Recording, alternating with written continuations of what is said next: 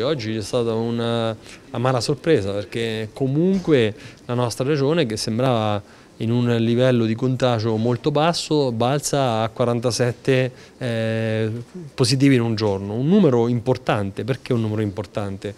Perché per conservare la zona bianca noi dobbiamo quotidianamente, ogni giorno, stare sotto i 50.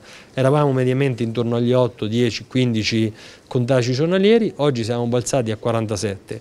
Speriamo che, si, che sia un caso isolato, riconducibile a una magari specifica situazione, ma invito tutti all'osservazione delle regole che ancora sono vigenti e ad avere la massima attenzione e cautela, perché è chiaro che proprio questi dati di oggi ci eh, sottolineano il fatto che se non siamo attenti il rischio di una ripresa del contagio è un, ancora forte e, e vigente. Quindi massima attenzione, massima cautela, si può fare tutto ma nel rispetto delle regole che sono ormai che penso chiare a tutti.